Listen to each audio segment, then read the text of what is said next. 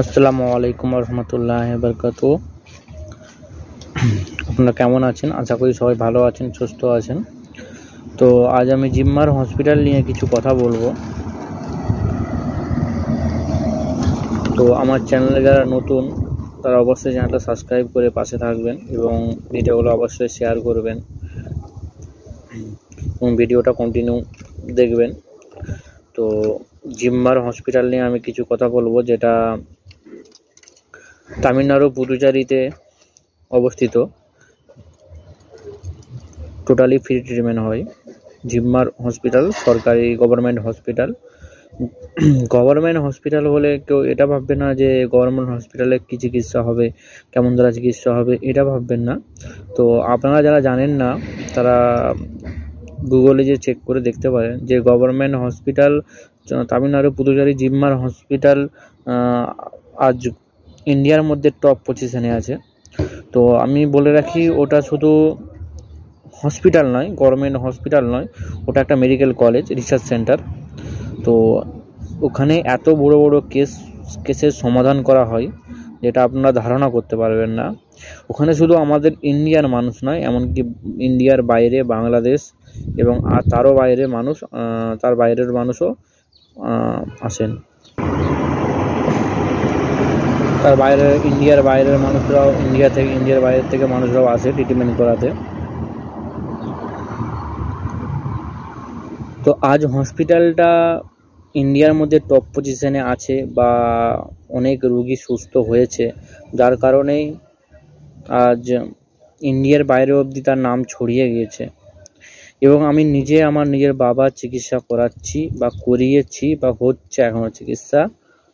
তো আমার বাবা ছিলেন ক্যান্সারের পেশেন্ট তো আমি আমার বাবার ওখানেই ট্রিটমেন্ট করিয়েছি ওবি ফ্রি ট্রিটমেন্ট তো আপনারা যারা জানেন না, ওখানে ক্যান্সার ডিপার্টমেন্ট আছে ক্যান্সারের চিকিৎসা হয়।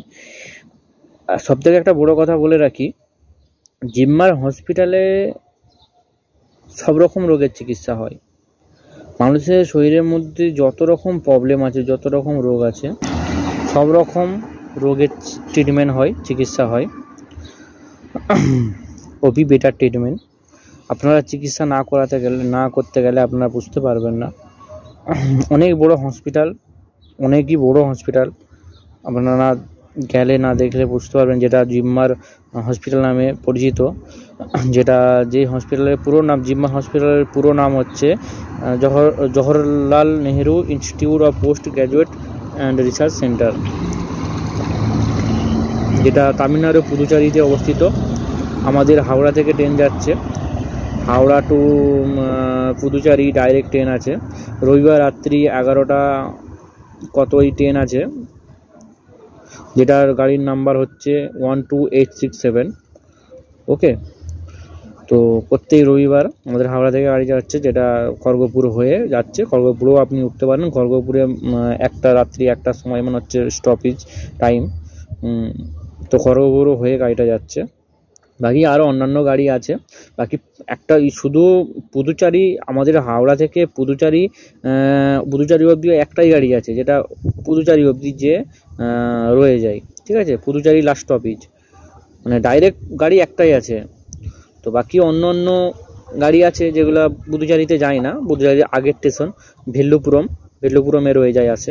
ভেল্লুপুরমে পুদুচারির আগের স্টেশন যেটা ভেল্লুপুরম। ওখানে এসে রয়ে যায়। তো ভেল্লিপুরম থেকে আপনি যদি লোকাল ট্রেনে যান, তো প্রায় তিরিশ চল্লিশ মিনিটের মতো লাগে। আর যদি আপনি বাস আছে বাসে যদি যান, তো বাসে গেলে আপনার প্রায় এক ঘণ্টার মতো লেগে যাবে। এক ঘণ্টা দশ কুড়ি মিনিটের মতো লেগে যাবে আপনার।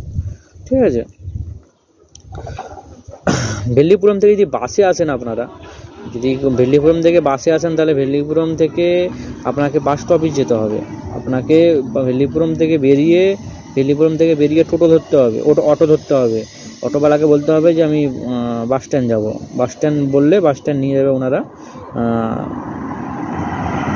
যে পুদুচারি বাস স্ট্যান্ড যাব। পুদুচারি বাস স্ট্যান্ড যাব বললেই ওনারা বাস স্ট্যান্ড নিয়ে যাবে। বাস স্ট্যান্ডে ওখান থেকে পুদুচারি বাস পুদুচারি বাস যাচ্ছে। আপনারা বাস ধরে নেবেন। তো ওখান থেকে বাস ধরলে বাসে প্রায় এক ঘণ্টার মতো লাগবে। আপনাকে পুদুচারি বাস স্ট্যান্ডে নিয়ে আসে নামিয়ে দিবে। তো ওইখান থেকে আবার আপনাকে অটো ধরতে হবে বা ভ্যান গাড়ি চলে। ভ্যান গাড়ি বলতে মোটর ইয়ে ট্রেক, ট্রেকার যেটাকে বলি আমরা, দেশে ওরকম গাড়ি চলে বা অটো চলে, অটো ধরে আপনি আসতে পারেন। বলবেন, অটোওয়ালাকে বলবেন যে জিম্মার হসপিটাল বা আপনি যদি ওখানে চিকিৎসা করতে গেলে যদি লজ ভাড়া নেন বা লজ, লজের দরকার হয়।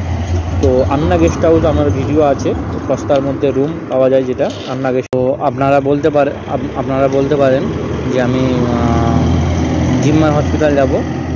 বেলিপুরম থেকে আপনি বাস ধরে পুদুচারি বাস স্ট্যান্ড এসে নামিয়ে দিবে, ওখান থেকে আপনাকে আবার অটো ধরতে হবে। অটো অটো নিয়ে আপনাকে অটোওয়ালাকে বলতে হবে যে আমি জিম্মার হসপিটাল যাব। যদি আপনি লজ ভাড়া নেন, তো আপনাকে আন্না গেস্ট হাউস বলতে হবে। বললে ওনারা পৌঁছে দিবে।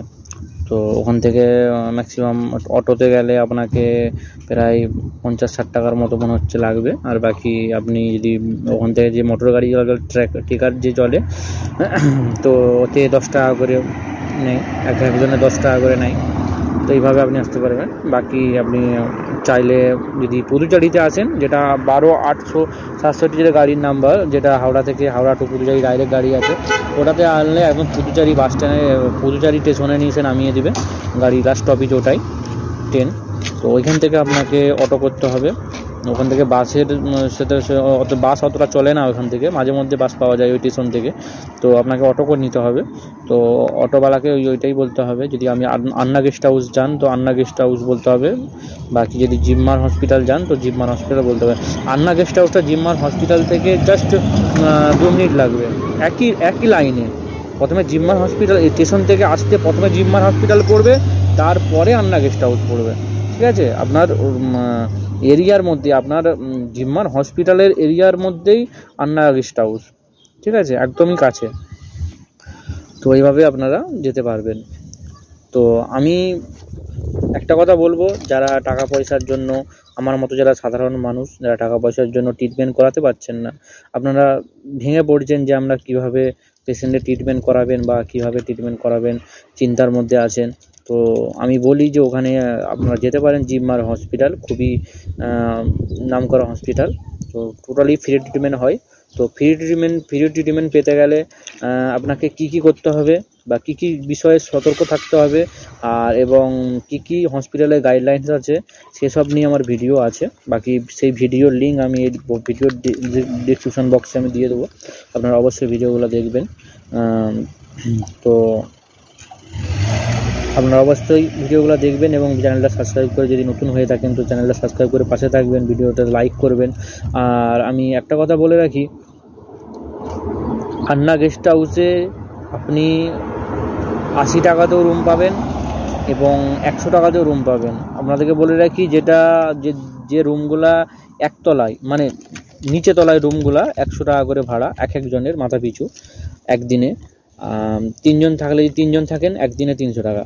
ঠিক আছে? আর যদি, আর রুম উপরের রুমগুলা দুতলা, তিনতলা রুমগুলা আশি টাকা করে পারছেন, বাকি এক হাজার টাকা ওনারা ডিপোজিট রাখেন, ওই পয়সাটা আবার যখন রুম ছাড়বেন, তখন আপনাদেরকে রিটার্ন করে দেবেন। ঠিক আছে? রান্না খাওয়া, খাওয়ার, রান্না করে খাওয়ার ব্যবস্থা আছে গ্যাস ফ্যাস সবই ভাড়ায় পাওয়া যায়। বাকি রান্না করার জন্য কড়া, হাঁড়ি যেগুলো লাগে